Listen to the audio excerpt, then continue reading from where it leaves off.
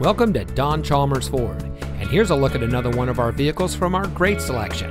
It comes equipped with rear collision and cross traffic alert warning, Ford Pass Connect, navigation, rear view camera, voice activated touchscreen navigation system, heated front seats, auto high beam headlamp control, sync communication system, Sirius XM satellite radio, heated door mirrors, and has less than 60,000 miles on the odometer.